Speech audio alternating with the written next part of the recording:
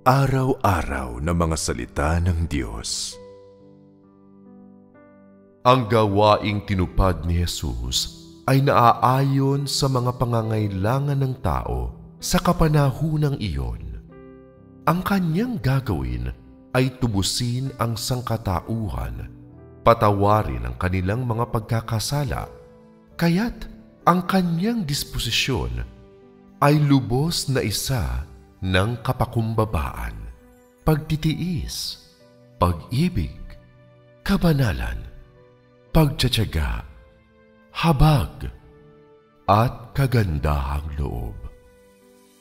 Pinagpala niyang mayaman ang sangkatauhan at dinalhan sila ng masaganang biyaya at lahat ng mga bagay na maaari nilang tamasahin kanyang ibinigay sa kanila para sa kanilang kasiyahan, kapayapaan at kaligayahan.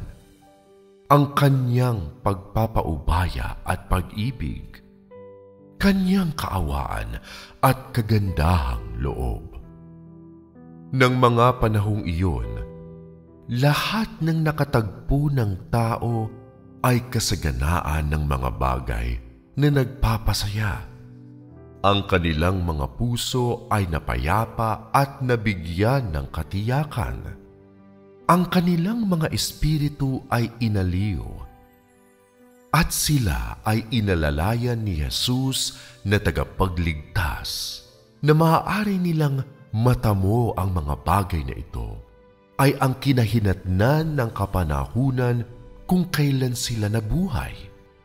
Sa kapanahunan ng biyaya, ang tao ay sumailalim sa pagtitiwali ni Satanas. Kung kaya ang gawaing pagtubos sa buong sangkatauhan ay nangailangan ng masaganang biyaya. Walang hanggang pagtitiis at pagtsatsaga at higit pa rito, isang handog na sapat para magbayad sala sa mga kasalanan ng sangkatauhan upang makarating sa bunga nito.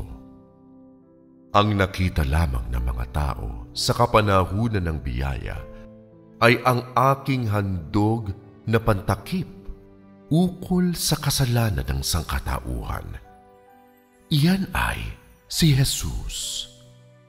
Ang alam lamang nila ay maaaring maging maawain at matiisin ng Diyos at ang nakita lamang nila ay ang habag at kagandahang loob ni Jesus. Ito sa kabuuan ay dahil nabuhay sila sa kapanahunan ng biyaya.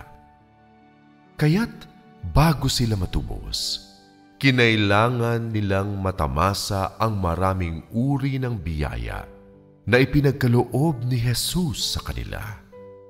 Ito lamang ang kapaki-pakinabang sa kanila. Sa ganitong paraan, maaari silang mapatawad sa kanilang mga kasalanan sa pamamagitan ng pagtatamasa nila ng biyaya at maaari silang magkaroon ng pagkakataon na matubos sa pamamagitan ng pagtatamasa nila sa pagtitiis at pagtsatsaga ni Jesus.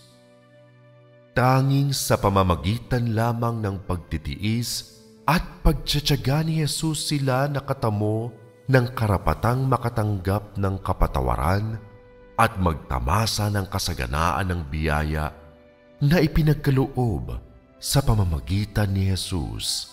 Gaya ng sinabi ni Jesus, Ako ay pumarito hindi upang tubusin ang matuwid, kundi ang makasalanan upang pahintulutan ng mga makasalanan na mapatawad sa kanilang mga kasalanan.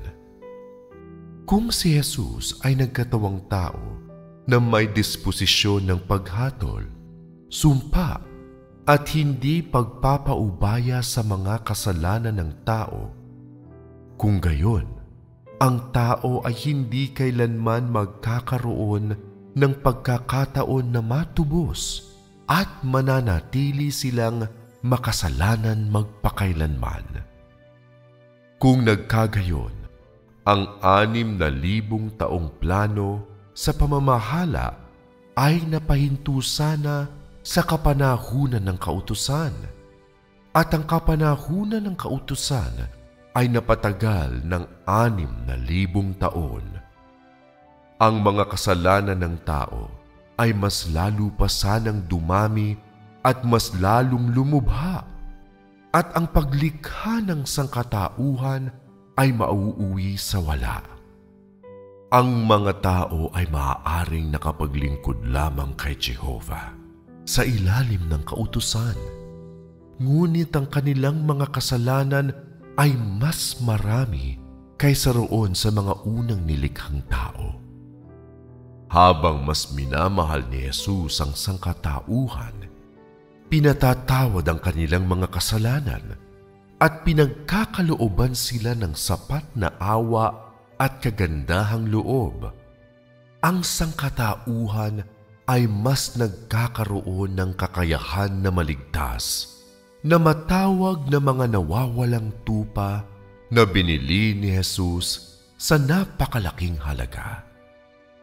Si Satanas ay hindi maaaring makialam sa gawaing ito dahil pinakitunguhan ni Jesus ang kanyang mga tagasunod na gaya ng pakikitungo ng isang mapagkalingang ina sa sanggol na nasa kanyang sinapupunan.